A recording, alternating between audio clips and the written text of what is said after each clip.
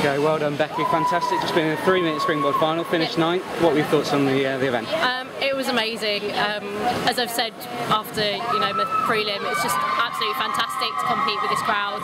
Um, I was absolutely buzzing just to be in the final. It was my first um, individual final on three meter um, at world level.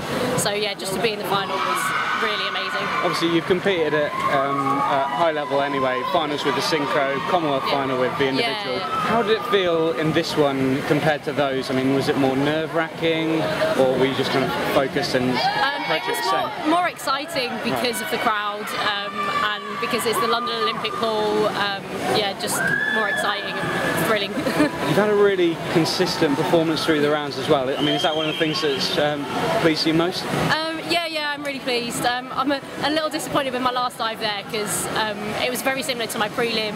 Um, in that if I'd have done a better last dive, I would have been on for a PB. Um, but at the same time, I can't be disappointed. It was. I'm really pleased with my performance. Good scores that it would have got you ninth at last year's World Champs as well. Right. What kind of things can you work on now to take it up into the 320s, 330s and above?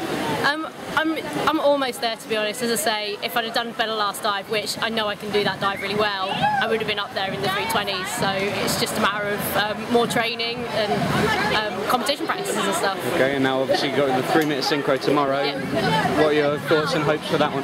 Um, I'm really looking forward to it. Um, it'll be Alicia's first competition out here, so I'm hoping she'll respond to the crowd just as um, I have and really enjoy it. Okay, well, well done tonight and good luck. Thanks.